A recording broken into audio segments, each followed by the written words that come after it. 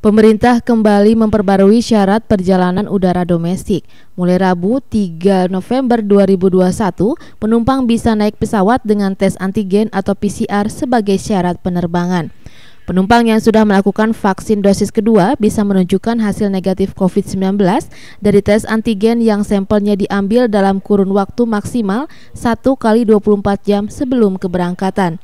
Penumpang yang baru vaksin dosis pertama wajib menunjukkan hasil negatif tes COVID-19 dari tes PCR yang sampelnya diambil dalam kurun waktu maksimal 3 kali 24 jam sebelum keberangkatan. Ketentuan menunjukkan kartu vaksin dikecualikan bagi pelaku perjalanan usia di bawah 12 tahun serta pelaku perjalanan dengan kondisi kesehatan khusus atau penyakit komorbid yang menyebabkan tidak dapat menerima vaksin.